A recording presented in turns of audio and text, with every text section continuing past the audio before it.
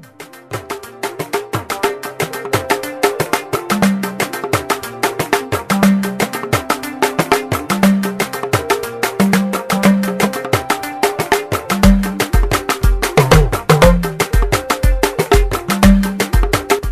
Shin ko kana so ka burge amaryarka da danginta wajen haɗa mata kayan lefe? Ko kina so ki fi matar minista shiga mai kyau? To albishirin ku samari da 'yan mata. Sawaba Shop shahararren wajen sai da atamfofi da leshi masu kyau. Ina mata masu neman anko. Sawaba Shop ya tanadar muku tsala tsalan atamfofi kala daban-daban tare da leshi da materials. A Sawaba Shop za ku samu haɗaɗɗun atamfofi da shaddodi na shiga taro don kecin raini. Bugu da ƙari, Sawaba Shop muna siyar da diloli har da masu yan ɗaiɗai duk a cikin farashi mafi sauƙi. A Sawaba Shop mukan yi marhaba lale da kwastomomin mu. Sawaba Shop muna nan a layin Litukulkul da ke kasuwar Kantin Kwari a birnin jihar Kano. Za ku iya tuntuɓar mu da lambar waya kamar haka: sifili takwas ɗaya, sifili takwas, uku sifili, biyu shida, sifili shida ko kuma sifili tara sifili, ɗaya huɗu, sifili ɗaya, huɗu ɗaya, tara takwas. Za ku iya zuwa Sawaba Shop don samun haɗaɗɗun kaya. Sai kun zo.